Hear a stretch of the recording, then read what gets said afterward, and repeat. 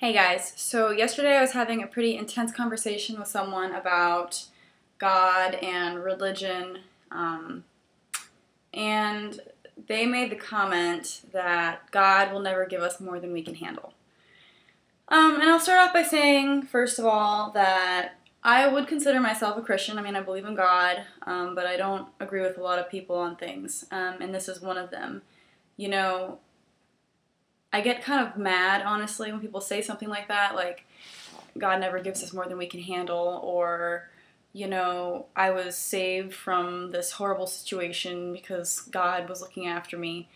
Um, you know, and like I said, I do believe in God, but I just feel kind of like we're stuck on earth in this place, and He gave us free will, and that isn't only to make good choices, and it isn't only for the good people who make good choices. Free will is also for people who are evil and hurt others. I mean, and if God doesn't control everything we do, which is why I don't believe in fate, um, I, you know, the Bible talks about free will. If He doesn't control everything we do, then He can't control people who do bad things either.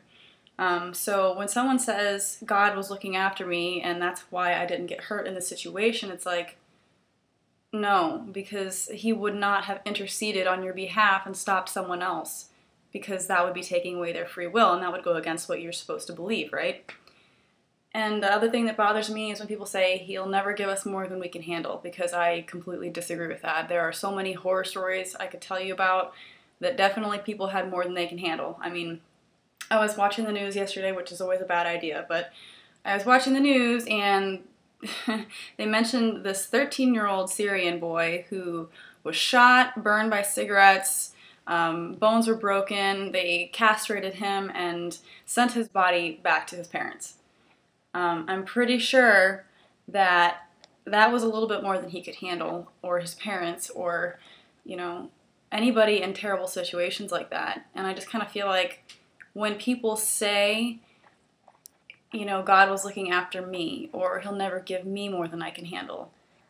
It just makes you feel like what makes you think you're better or more special to God than all these other people who are suffering.